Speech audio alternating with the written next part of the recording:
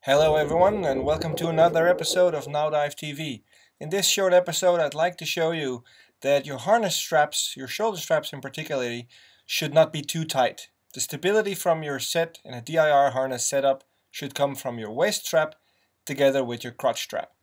So let's dive right in and look at the video.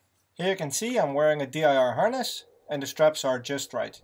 When I stretch out my right arm it should just tighten up not completely, but just tighten up. The D-rings are in the right position when you can touch them with your thumbs easily like I just did there. Now let's look when everything is in place as it normally should be. Obviously when you go on upside down, everything stays in place. The air in your wing will shift around a little bit, you need to compensate for this, but that's normal. Here I take my arms out of the straps to show you when I move around, the set will stay roughly at the same spot. Nothing on my shoulders, just a long hose going around my neck, and the set is attached to my hips and with the crotch strap and the hip strap.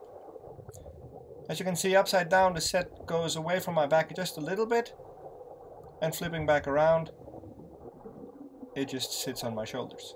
That little shrug you see me doing is balancing the tank on my back and that's a little trick everyone should learn regardless of the setup. Because the tank is always heavy and always wants to shift around.